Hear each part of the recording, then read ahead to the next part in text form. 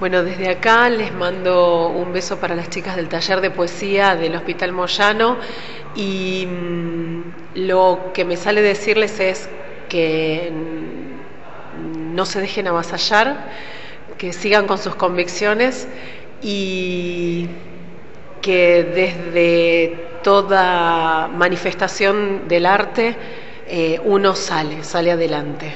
Eh, así que bueno, les mando un gran beso y un gran abrazo desde acá. Mi nombre es Verónica Adamo. Verónica, si te tuvieras que presentar, si les tuvieras que contar algo más de vos a las chicas del taller, ¿qué les contarías?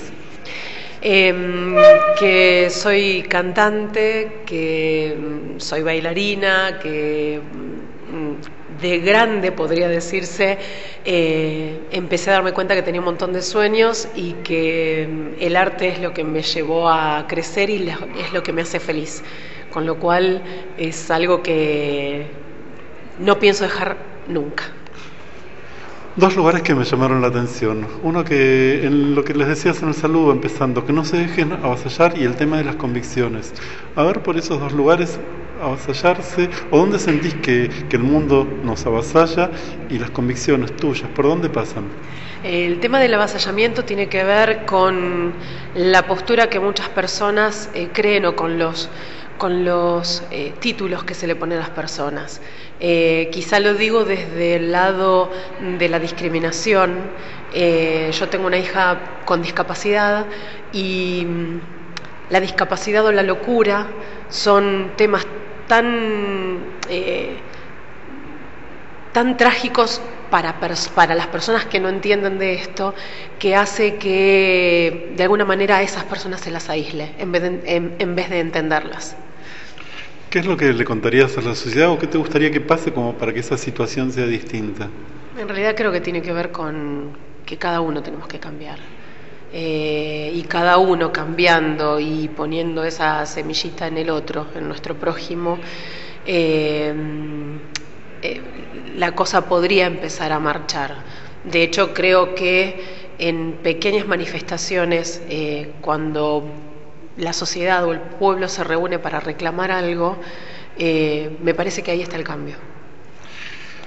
A ver, hablabas también de estas cosas que uno empieza a hacer de grande. ¿Y cómo fue eso? O sea, ¿qué cosas y por qué? En realidad te das cuenta, creo, cuando sentís que no tenés nada tuyo. Cuando vivís porque te toca vivir y estás en la cotidianeidad. Cuando no empezás a explorar Mm, qué es lo que te gusta, qué es lo que deseas. Yo creo que a partir de darte cuenta que todas las personas tenemos un deseo, hay muchas personas que viven sin desear.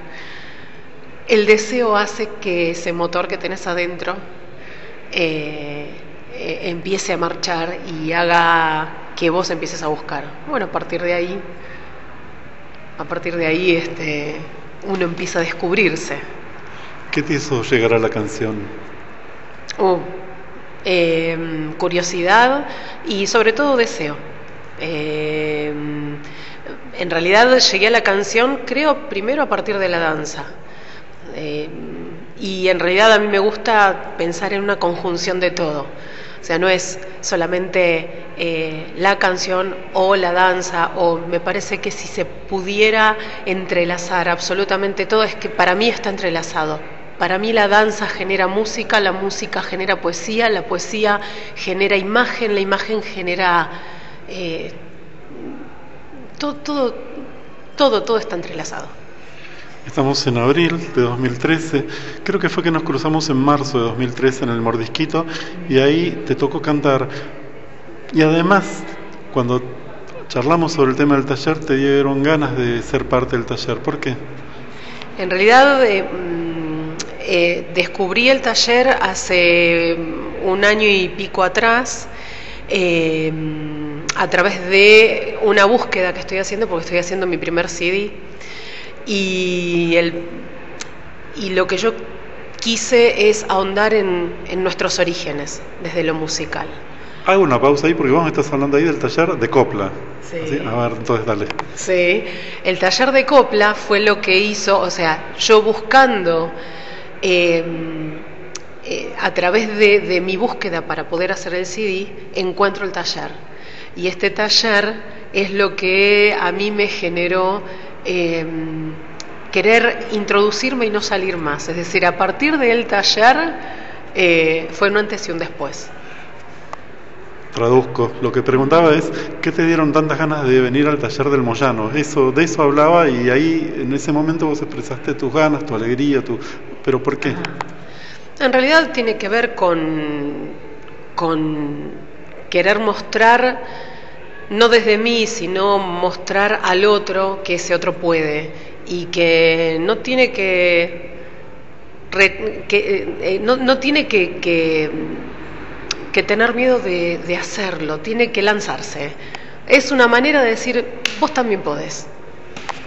En el taller trabajamos sobre eso. ¿Miedo a qué y qué hiciste con ese miedo? En realidad yo tengo una frase que dice, si, siempre digo, o la, le pregunto al otro, que es una pregunta que muchas veces me la hice, ¿qué harías si no tuvieras miedo? A partir de ahí, ya está, a lanzarse. ¿Miedo a qué y qué hiciste con eso?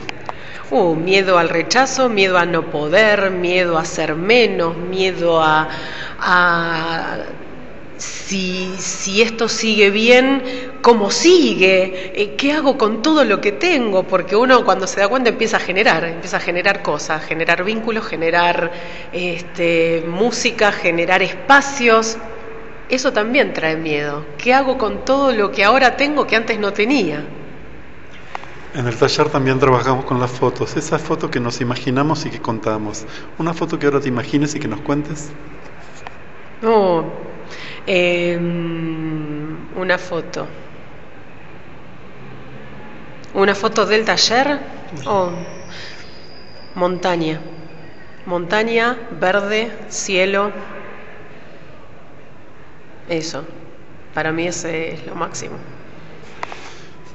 Un escritor, una escritora que elijas y un porqué. Eh, Alfonsina Storni, Gabriel Mistral y Sor Juana Inés de la Cruz. Creo que cada una en su época dicen mucho de la mujer, de la mujer luchadora, la que va adelante y la que no se deja amedrentar por la sociedad eh, y cada una en su época y en sus tiempos eh, generaron un cambio. Era la parte que sigue, una mujer de tu historia, de la historia del mundo que elijas y un porqué.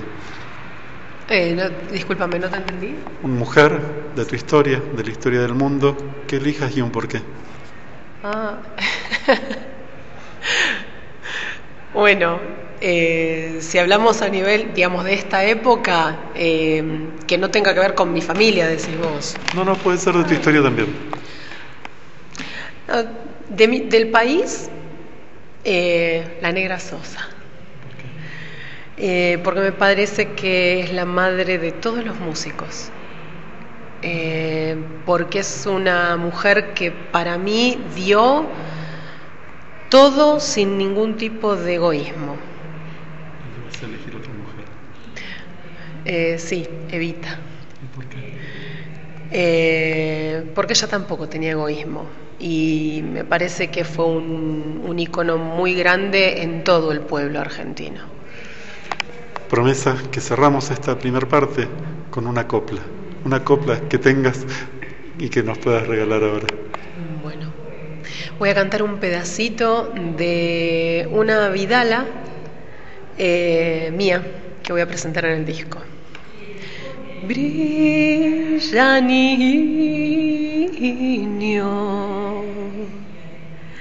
en la multitud. Sonrisa forzada por un patacón. No vemos la gente, tu cara es dolor. No vemos la gente, tus pies de arrebol. Infinitas gracias por acompañarnos. Al contrario, muchas gracias a vos.